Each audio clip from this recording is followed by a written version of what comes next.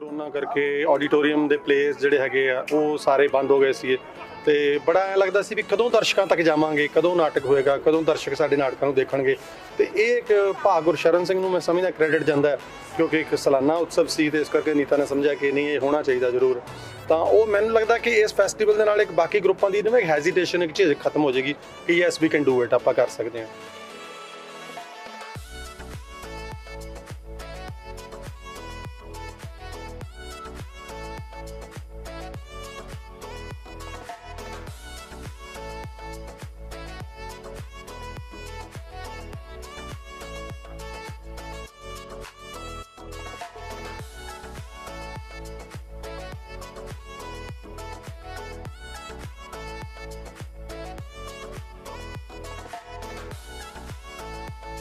ਅੱਛੀ ਸ਼ੁਰੂਆਤ ਹੋਈ ਹੈ।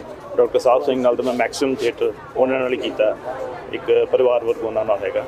ਤੇ ਇਹ ਨਾਟਕ ਅੱਜ ਦਾ ਜਿਹੜਾ ਮਾਹੌਲ ਚੱਲ ਰਿਹਾ ਹੁਣ, ਉਹਦੇ ਲਈ ਬਹੁਤ ਜ਼ਰੂਰੀ ਵੀ ਸੀ।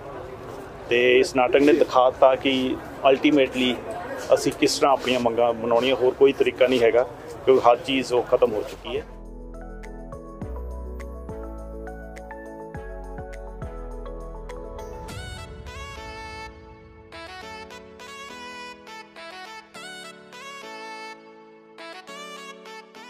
ਗੁਰਸ਼ਰਨ ਸਿੰਘ ਨਾਟ ਉਤਸਵ ਹੈ ਤੇ ਸਾਡੀ ਹਮੇਸ਼ਾ ਇਹ ਚਾਹਤ ਰਹਿੰਦੀ ਹੈ ਕਿ ਜੋ ਇਹੋ ਜਿਹੇ ਨਾਟਕ ਇੱਥੇ ਹੋਣ, ਜਿਹੜੇ ਕਿ ਗੁਰਸ਼ਰਨ ਸਿੰਘ ਦੀ ਜਿਹੜੀ ਨਾਟ ਵਿਧੀ ਸੀ ਤੇ ਜਿਹੜੀ ਉਹਨਾਂ ਦੀ ਸੋਚ ਸੀ, ਉਹਨਾਂ ਨੂੰ ਅੱਗੇ ਲਿਜਾਣ ਤੇ ਅੱਜ ਸਾਹਿਬ ਸਿੰਘ ਦਾ ਨਾਟਕ ਪੂਰੀ ਤਰ੍ਹਾਂ ਉਸ ਕਸੌਟੀ ਤੇ ਖਰਾ ਉਤਰਦਾ ਸੀ ਤੇ ਇੱਕ ਬਿਹਤਰੀਨ ਪਰਫਾਰਮੈਂਸ ਸੀ।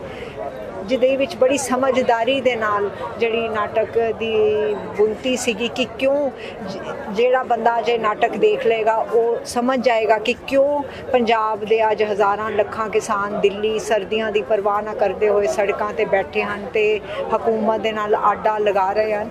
ਉਹ ਕਿਉਂ ਲਗਾ ਰਹੇ ਹਨ? ਉਹਦਾ ਜਵਾਬ ਇਹ ਨਾਟਕ ਸੀ। ਬਹੁਤ ਬਿਹਤਰੀਨ ਪਰਫਾਰਮੈਂਸ ਸੋ ਅੱਜ ਦਾ ਜਿਹੜਾ ਨਾਟਕ ਹੈ ਉਸ ਜਿਹੜੀ ਉਹ ਜ਼ੁਬਾਨ ਤੋਂ ਉਹ ਡਰਦੇ ਆ, ਉਸ ਜ਼ੁਬਾਨ ਦਾ ਜਿਹੜਾ ਹੈਗਾ ਅੱਜ ਦਾ ਨਾਟਕ ਜਿਹੜਾ ਹੈ, ਜਾਂ ਅੱਜ ਦਾ ਜਿਹੜਾ ਇਹ ਇਕੱਠ ਹੈ, ਅੱਜ ਦਾ ਸਮਾਗਮ ਹੈ, ਉਸ ਜ਼ੁਬਾਨ ਦਾ ਇੱਕ ਸ਼ੁਰੂਆਤ ਹੈਗੀ ਹੈ।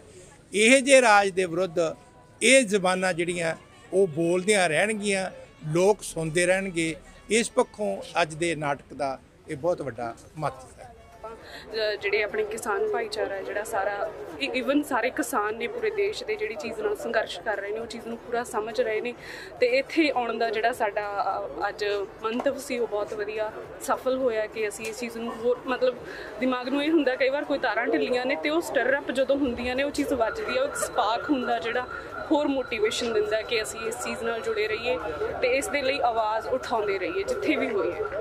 ਪਰ ਅੱਜ ਦਾ ਜਿਹੜਾ ਪਲੇਸ ਸੀ, ਕਿਉਂਕਿ ਜਿਹੜਾ ਆਪਣਾ ਕਿਸਾਨ ਮਸਲਾ ਚੱਲ ਰਿਹਾ ਔਰ ਜਿਹੜਾ ਮੋਰਚਾ ਚੱਲਿਆ ਹੋਇਆ, ਉਹਦੇ ਬਾਰੇ ਆਪਾਂ ਖਬਰਾਂ 'ਚ ਜੋ ਸੁਣ ਰਹੇ ਆ ਉਹਦੇ 'ਚ ਆਪਾਂ ਨੂੰ ਇਹ ਨਹੀਂ ਪਤਾ ਲੱਗ ਰਿਹਾ ਵੀ ਜਿਹੜੇ ਕਿਸਾਨ ਨੇ ਉਹ ਇਸ ਸਟੇਜ ਤੇ ਪਹੁੰਚੇ ਕਿਉਂ ਨੇ।